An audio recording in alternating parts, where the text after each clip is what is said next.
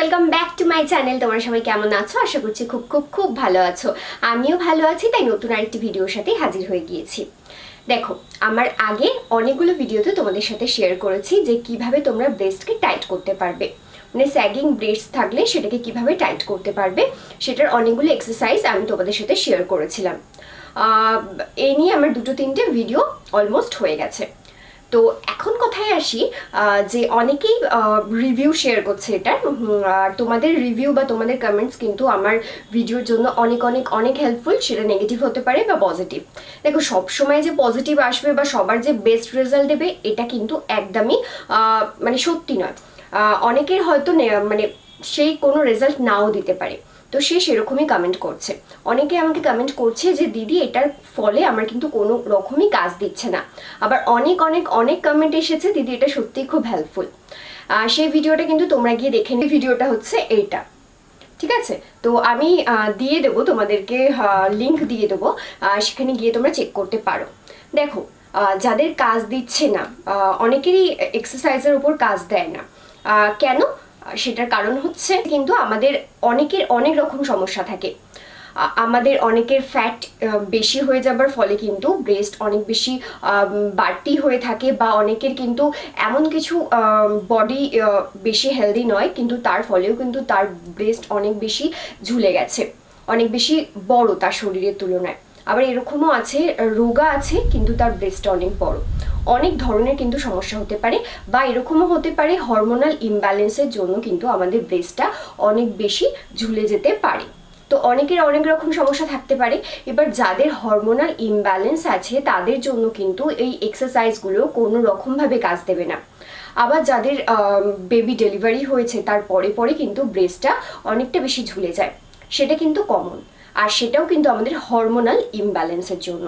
সেটা কিন্তু আমাদের হেলদি শরীরের কখনো হতে পারে। শরীরের পরিবর্তন, কেন কি আমরা একটা বেবি ব্রেস্ট ফিডিং করাই, তো সেক্ষেত্রেও কিন্তু ব্রেস্ট ঝুলে গিয়ে থাকতে পারে।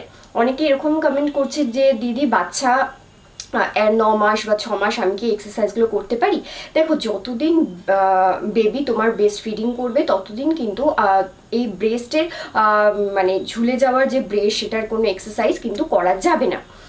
তোমার বেবি যদি ব্রেস্ট ফিটিং করা বন্ধ করে দেয়, আর প্রেগনেন্ট চলাকালীন কিন্তু এই এক্সারসাইজগুলো করা যায় না। সেই প্রশ্নের উত্তরগুলো আমি দিয়ে দিচ্ছি, এবং সেগুলোতেও আমি দিয়েছি, তোমরা যদি চেক না করে থাকো, তাই জন্য আমি ভিডিওতে তোমাদেরকে বলে দিলাম।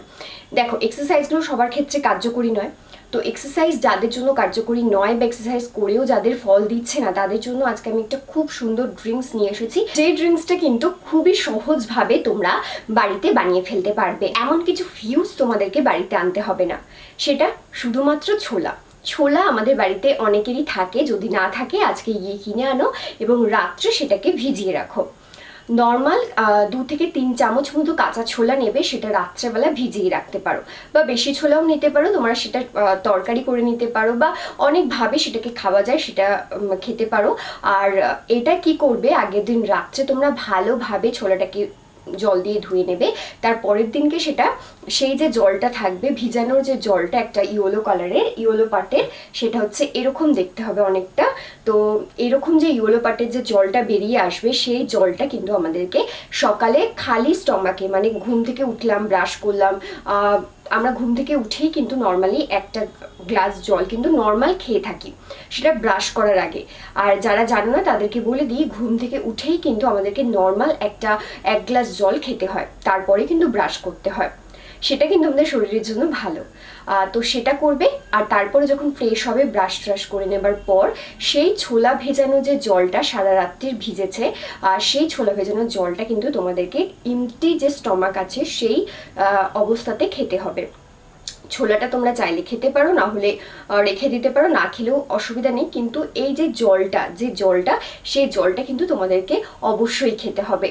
এই জলটা যদি তোমরা এমটি স্টমাকে খাও, তাহলে কিন্তু তোমাদের ব্রেস্টের যে ঝুলে যাওয়াটা, সেটা অনেকটা রিডিউস হবে।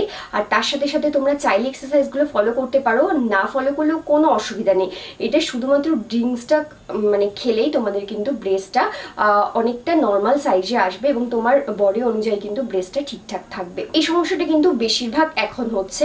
তো যাদের এই সমস্যাটা আছে, তারা অবশ্যই এক্সারসাইজ করতে পারো। এক্সারসাইজ করেও যদি তোমাদের কোনো ফল না দেয়, তাহলে তাহলে অবশ্যই তোমরা এই ড্রিঙ্কসটা কিন্তু বানিয়ে খেতে পারো। এর বেস্টটা কিন্তু টাইট করবে। তো তোমরা যারা ভাবছ যে আমি কি করব এবং এক্সারসাইজ করেও কোনো কাজ দিচ্ছে না, আমাকে অনেকেই কমেন্ট করছে, তারা প্লিজ এই ড্রিঙ্কসটা কিন্তু বানিয়ে খেতে পারো রোজ সকালে খালি পেটে।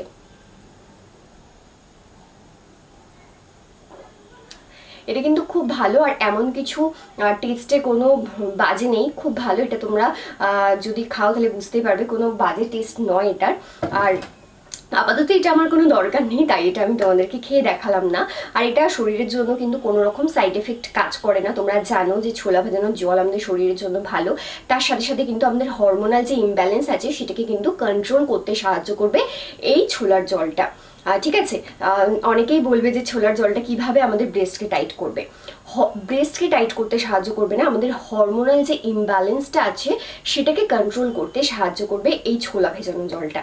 তাই তোমরা যদি রেগুলার মানে এক মাসের মধ্যে কিন্তু তোমাদের এই রেজাল্টটা তোমরা পাবে। তো এক মাস যদি তোমরা এই ড্রিঙ্কসটা ইমটি স্টমাকে খাও, তাহলে কিন্তু তোমাদের যে হরমোনাল ইমব্যালেন্সটা সেটা অনেকটা কন্ট্রোলে আসবে। আর তার সাথে সাথে হরমোনাল ইমব্যালেন্সের জন্য যদি ব্রেস্ট ঝুলে গিয়ে থাকে, অনেকটা বেশি তোমরা হেলদি হয়ে গিয়ে থাকো, সেগুলো কিন্তু অনেকটা কন্ট্রোলে আসবে।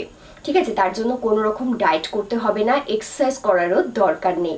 তো তোমরা অবশ্যই আজকে থেকে এক মাস পর্যন্ত এই ড্রিঙ্কসটাকে কন্টিনিউ করতে পারো।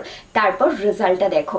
আর হ্যাঁ যাদের শরীরে কোনো হেভি রোগ আছে মানে ধরো থাইরয়েড বা সুগার জাতীয় কোনো রোগ, এরকম বড় বড় যদি রোগ হয়ে গিয়ে মানে হয়ে থাকে, তাহলে তাদেরকে বলব, অবশ্যই ডাক্তারের পরামর্শ নিতে এই ড্রিঙ্কসটা খাওয়ার আগে। কেন কি কোনো রকম সমস্যা হলেও হতে পারে। নর্মাল যাদের শরীর আছে, তারা কিন্তু এই ড্রিঙ্কসটা ইজিলি খেতে পারবে। এক মাস পরে গিয়েও যদি ভালো রেজাল্ট পেয়ে থাকো, তাহলে অবশ্যই এক মাস পরে এসেই আমার ভিডিও নিচে একটা কমেন্ট অবশ্যই করো। ভিডিওতে লাইক করতে একদমই ভুলবে না, আর সাবস্ক্রাইব যদি না করে থাকো, অবশ্যই সাবস্ক্রাইব করে দিও আমার চ্যানেলটিকে পাশের বেলাইকানটিকে প্রেস করতে কিন্তু একদমই ভুলবে না। সে চলো আজকের মতো bye love you all tata.